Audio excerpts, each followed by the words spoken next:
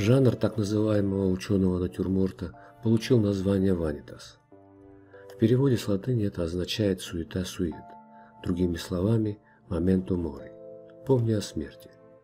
Это самый интеллектуальный вид натюрморта, аллегория вечности искусства, бренности земной славы человеческой жизни.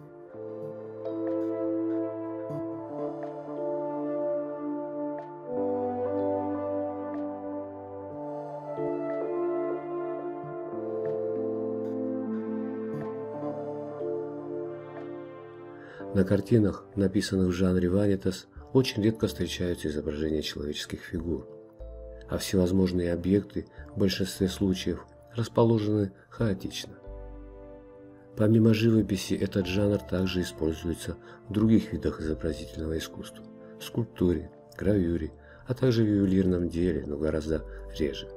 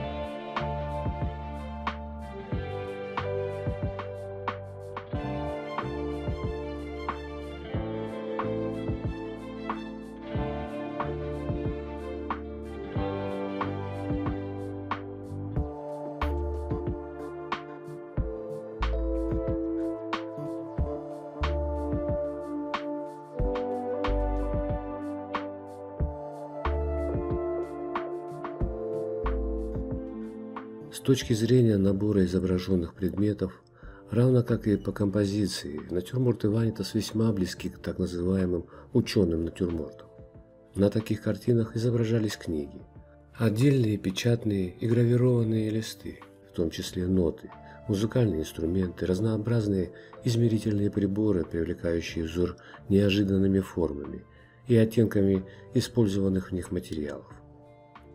Большинство подобных натюрмортов несет сложную символическую нагрузку, причем этот скрытый смысл для нас не только не очевиден, но чаще всего мы о нем и не подозреваем. Мы видим просто старинные книги, рукописи, музыкальные инструменты, часы, а также много предметов неизвестного для нас назначения.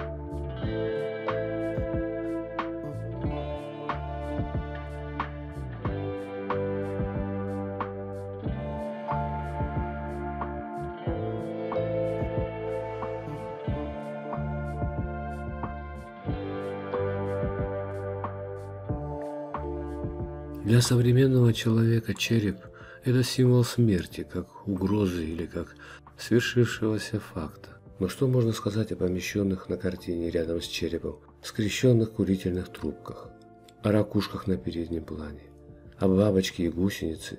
Оказывается, перевернутые курительные трубки символизируют быстротечность и хрупкость жизни, а изъеденные насекомыми и гниющие фрукты – суть символы обреченности всего живого. thank you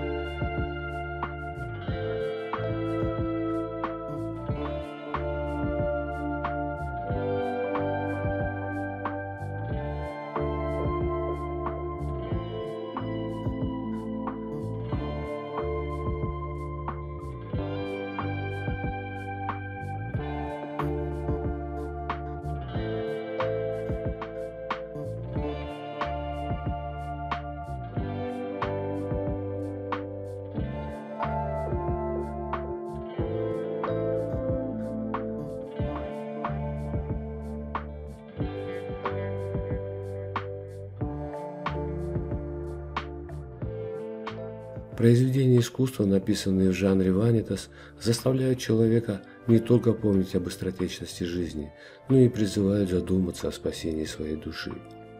Эта идея полностью совпадает с учением всех христианских церквей, независимо от их конфессионной принадлежности. Поэтому поджанр ванитас был широко распространен как в католических, так и в протестантских странах Европы. Историю жанра ванитас сложно ограничить четкими временными рамками, так как изображение человеческого черепа в искусстве встречается с древнейших времен в самых разных культурах. Так, первым веком до нашей эры датируются античные мозаики момента Мори, обнаруженные в раскопках Помпеи, в которых отчетливо видны мотивы жанра.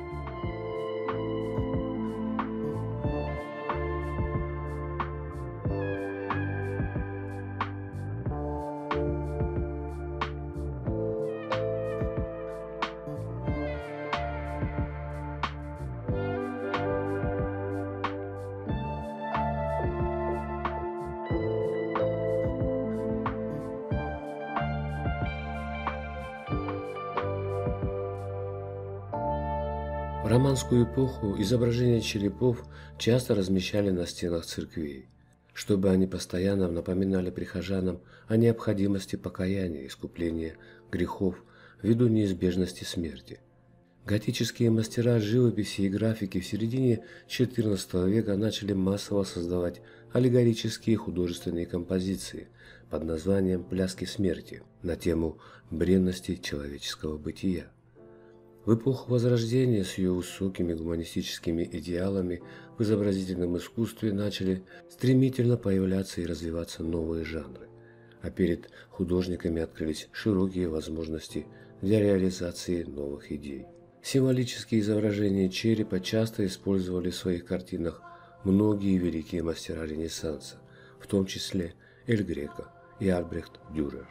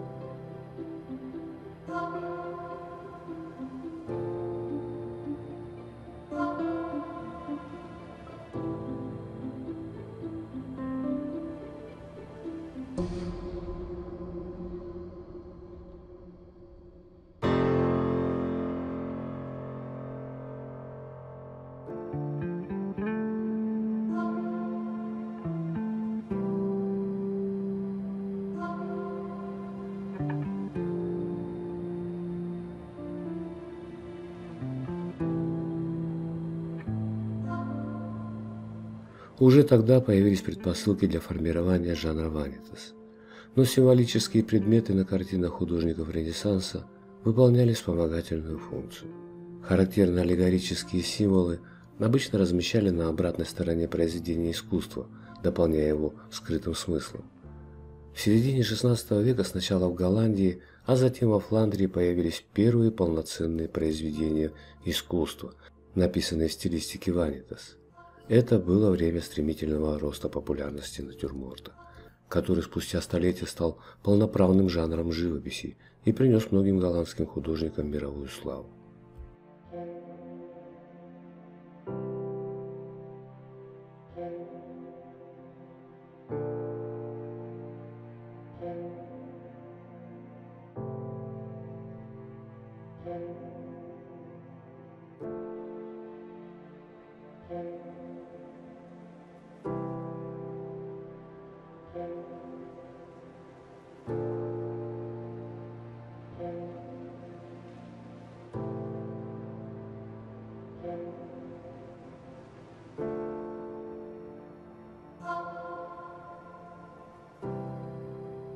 Центром развития Ванитаса в эпоху барокко стал небольшой город университетский Лейден, в котором жили и работали самые известные художники этого жанра.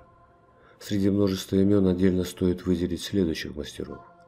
Якоба Дегейна-младшего, Давида Байи, Питера Симонса Поттера, Яна Давица де Хема, Жака де Клева, Андриана Вандерспелта,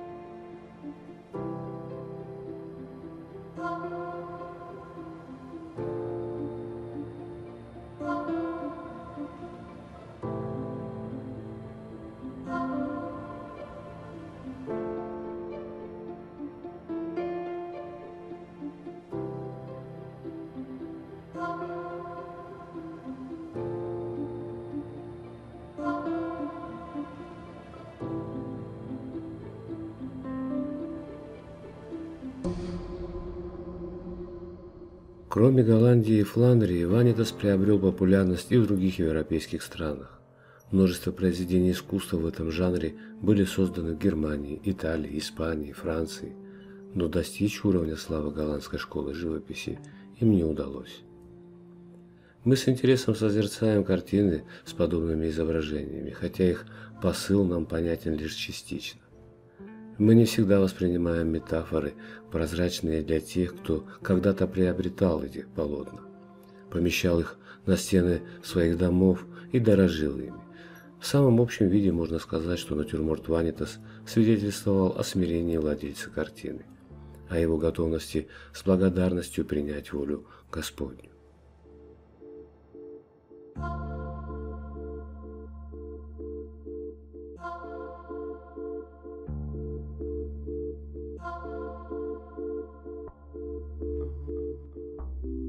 Конце 17 века на смену барокко в европейском искусстве пришла эпоха рококо. Вкусы общества сильно изменились. Символизм Ванитаса стал неинтересен широкой публике.